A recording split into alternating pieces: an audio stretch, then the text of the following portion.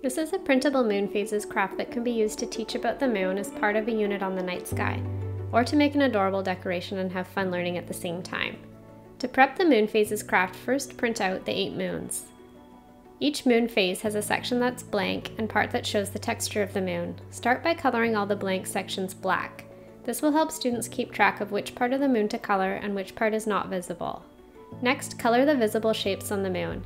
If students will be painting the background after coloring, it works well if you pick a darker shade of the color that you'll be painting with.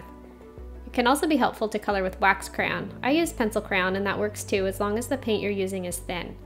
For this video example, I did three different options. For one garland, I colored with dark yellow and then painted light yellow on top.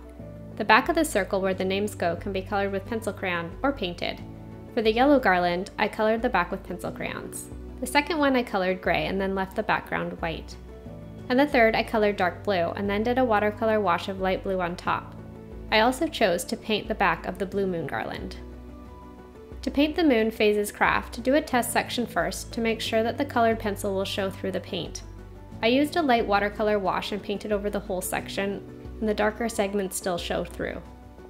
If using regular printer paper, it may buckle a little bit. It can always be pressed under a book once dry to help it flatten out again. If possible, it's great to print them out on a thicker cardstock paper or watercolor paper if you plan on painting them.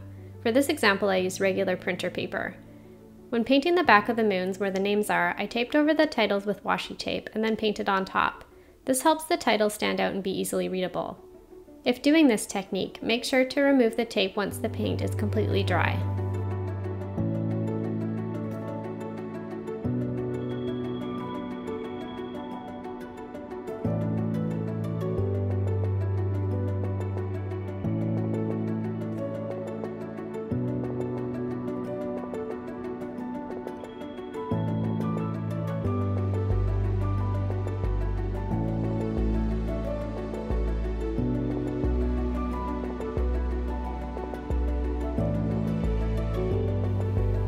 To assemble the garland, start by folding the page along the dotted line.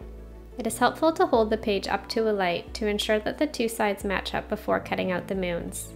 Next, cut out all eight moon phases. Keep the moons attached along the top by the dotted line. This helps make assembly easier. If they accidentally get detached, that's okay. Simply tape or staple them back together. It's helpful to number the moon phases to remember the correct order when placing them on the string.